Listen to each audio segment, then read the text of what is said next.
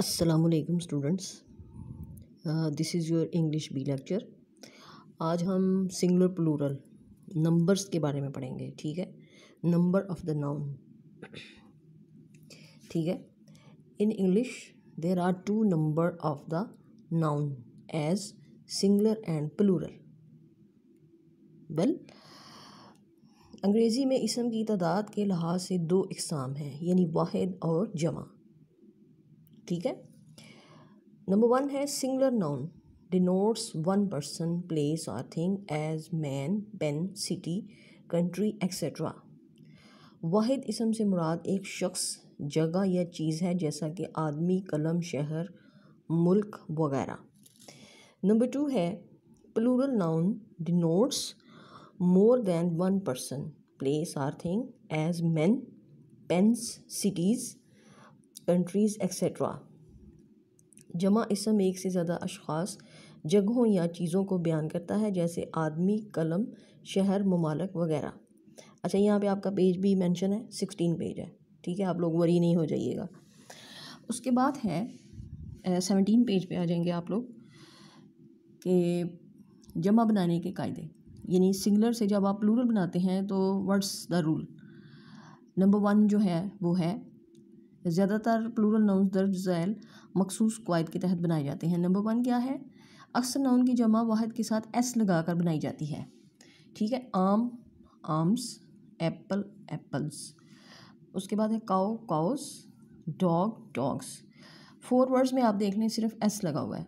S S और फिर उसके बाद एस एंड एस। कायदा नंबर टू जो है वो ये है कि अगर किसी नाउन के आखिर पर S, double S S H, C H X O या जेड हो तो उसके साथ ई e, एस लगाकर जमा बनाते हैं। ठीक हो गया? एज एज ठीक है? गदा। बुश बुशेस देखते जाएँ आप लोग के ई एस और ई e, एस लग रहा है। बॉक्स बॉक्सेस ई एस ठीक है?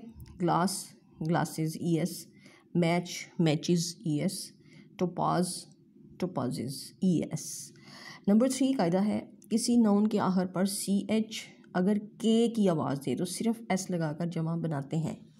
Number one, monarch. Monarchs.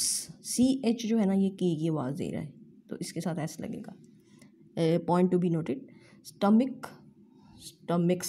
C H four कायदा। अगर किसी नाउन का आखिरी हर्फ वाई हो और वाई से पहले वाला हर्फ कॉन्सोनेंट हो तो वाई की जगह आई ई एस लगाते हैं। जमा बनाते हैं। Baby Y, babies I E S family Y, families I E S कायदा नंबर पाँच, अगर किसी नाउन का आखिरी हर्फ वाई हो मगर वाई से पहले वाला हर्फ वावल, यानी ए ई आई ओ यू में से कोई एक हो तो सिर्फ़ एस लगाकर जमा बनाते हैं।